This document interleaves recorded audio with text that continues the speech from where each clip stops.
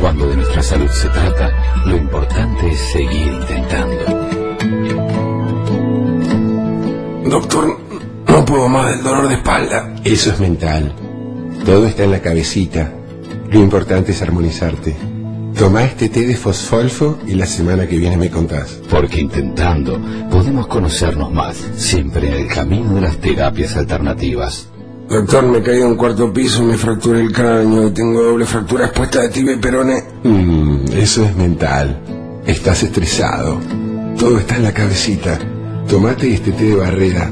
Hacete unas gárgaras con agua de solullo y después me contás. Porque lo importante es seguir intentando. Doctor, me sigue el dolor de espalda. Me salieron unos granos verdes del tamaño de una ciruela. Estoy, ten- infarto, teniendo un infarto. ¡Infarto!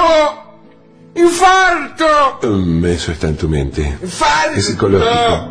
Tomate este té del sus y enseguida se te va a pasar. Vamos, póngase de pie. Levántese del piso. Ánimo, vamos. Actitud. Y aunque haya que llamar al SAME para llevar a un infartado a la guardia de un hospital, lo valioso es haberlo intentado. Terapia alternativa del doctor Cascote. Miles de testimonios avalan estos intentos. A mí me curó un resfrío, pero por el té después perdí un riñón. Me quiso curar el tobillo con no sé, no sé qué y ahora camino para la mierda. ¡Un hijo de puta ese! ¡Ocho meses en terapia intensiva estuve! ¡Me tuvieron que estirpar un pulmón, hijo de puta! ¡Hijo de puta! El doctor Cascote ha atendido hasta la fecha a 3.323 pacientes.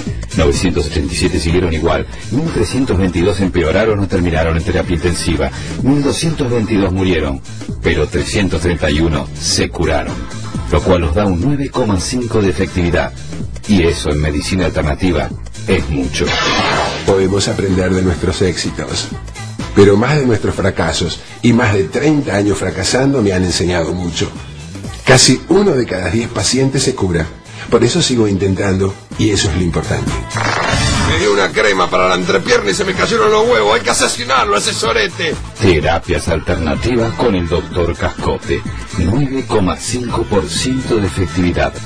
Lo importante es seguir intentando.